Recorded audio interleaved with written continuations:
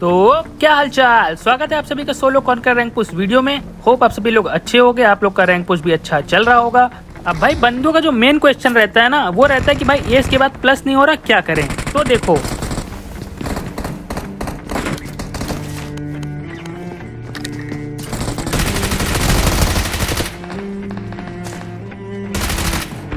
तीन तरीका होता है भाई कॉन्कर पुश करने का। एक होता है भाई अग्रेशन दूसरा होता है डायनामिक और तीसरा होता है सर्वाइवल अब बात कर लेते हैं अग्रेशन गेम प्ले की। जैसे कि नाम से ही पता चल रहा है अग्रेशन जो बंदे केवल किल के लिए खेलते हैं ना, भाई उनका प्लस तो आराम से हो जाता है। अगर उनका माइनस भी होता है तो वो एक मैच में प्लस निकाल लेते हैं। डायनेमिक गेम प्ले की बात करें तो इसमें बंदे किल भी निकालते हैं और सर्वाइव भी करते हैं। और लास्ट है सर्वाइव गेम प्ले भाई, ज़्यादातर बंदे क्या करते हैं कि ज़्यादातर सर्वाइवल पे ध्यान देते हैं, वो किल पे ध्यान देते ही नहीं। और एज तक तो आराम से आ जाते हैं, लेकिन एज के बाद उनका प्लस होता नहीं, क्योंकि भाई जितना हो सके ना, उतना आप लोग को किल निकालने का ट्राई करना ही चाहिए।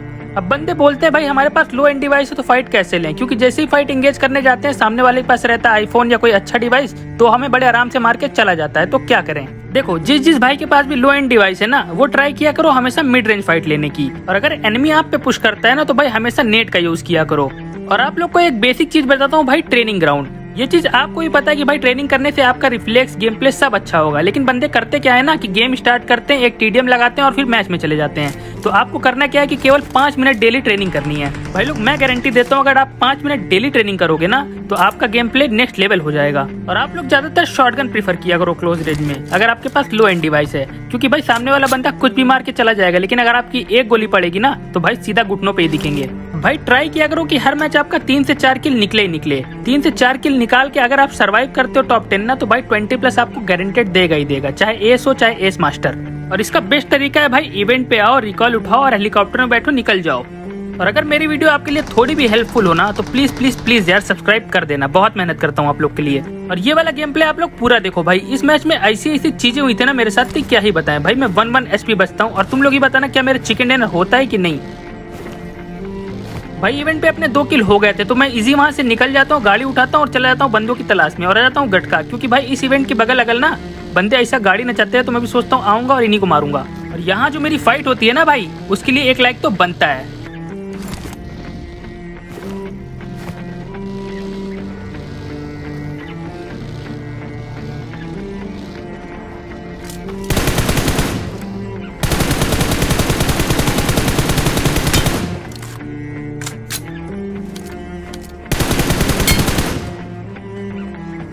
और अभी आप लोग ये स्प्रे देखना और बताना बंदे का रिएक्शन क्या रहा होगा।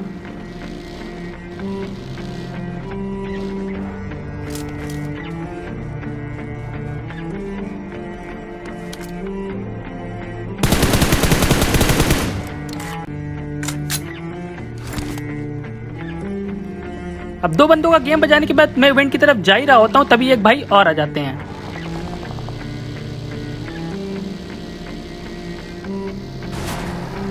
और भाई, तुम लोग इस बंदे को याद रखना, क्योंकि भाई के साथ अपना आगे मीटअप होता है। और अभी ये वाली फाइट एंजॉय करो।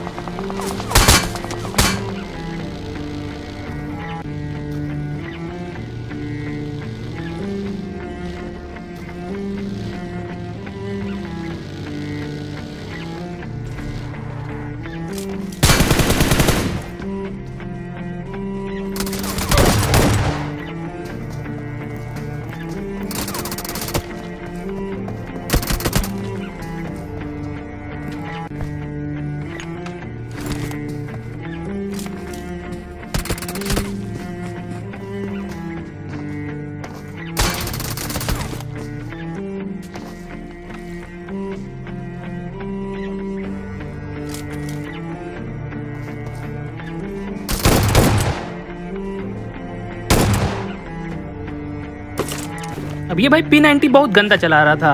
अब भाई चाहता तो मुझे मार देता, लेकिन भाई थोड़ा सा इधर उधर हो गया और मैं भी हील करके भाई को आराम से मार देता हूँ। जोन बनने का वेट कर ही रहा था कि तभी जोन चला जाता है रोजक के ऊपर।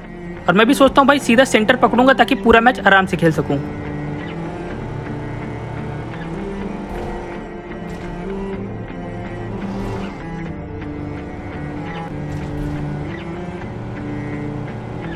अब सामने वाला स्नाइपर टावर रहता है सर्कल में और मोस्ट ऑफ़ द जोन यहीं पे कटता है। तो मैं आता हूँ, यहाँ पे यहाँ का गेट खुला रहता है तो मुझे लगता है कोई बंदा ना हो, लेकिन भाई यहाँ रहता है खाली। अब यहाँ पे होल्ड कर ही रहा होता हूँ कि तभी एक गाड़ी आ जाती है। और बस तुम लोग ऑल पे हमारी इसकी बात सुनना।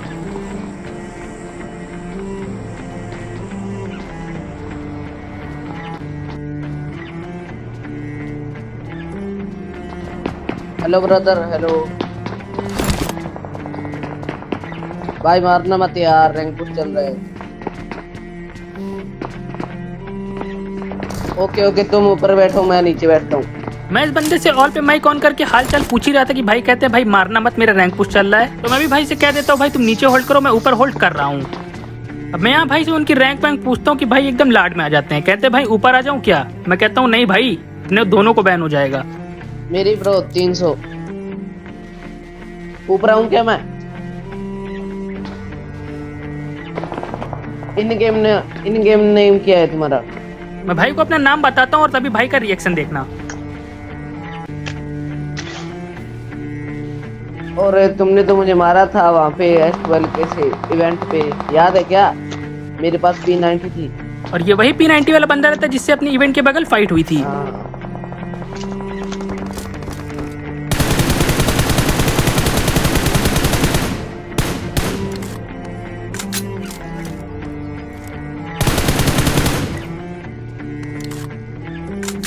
हाँ डालूँगा। अरे वो काले कपड़े पहने भाई मैंने। ब्लैक है, सब कुछ ब्लैक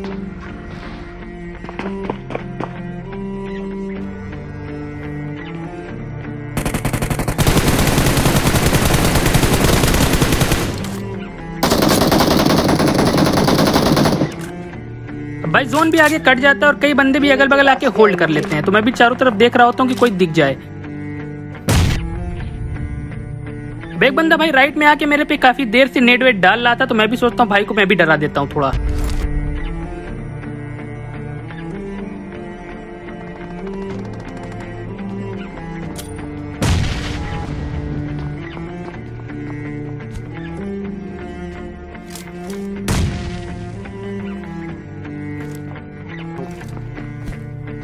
भाई, दस सेकंड में जोन आने वाला तो मैं भी नीचे वाले भाई से कहता हूँ कि भाई, तुम निकलो, मैं आ जाऊँगा।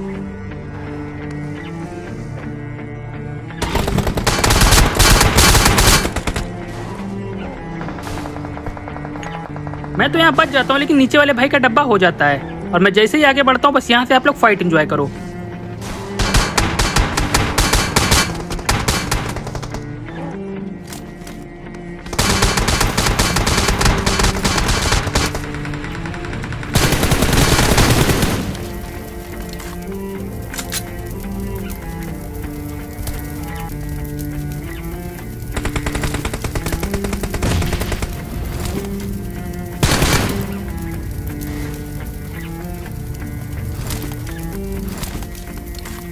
अब टोटल तीन बंदे बचे थे और आप लोग को क्या लगता है मेरा यहाँ से चिकन डिनर होगा या नहीं? वीडियो पॉज करो और जाके कमेंट सेक्शन में एक बार बता के आओ।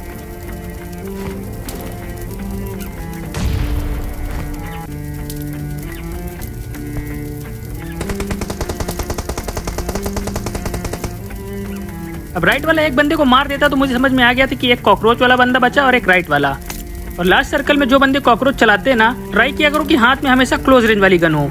क्योंकि भाई ये उतर के मार भी देते हैं। अब भाई सर्कल तो अपने पे था, बस वेट था कि राइट वाला बंदा दिख जाए। मुझे लगा था कि राइट वाला बंदा सांप बन के राइट से ही आएगा तो एक मॉली डाल देता हूँ, लेकिन भाई क्या करते हैं, देखना आप लोग।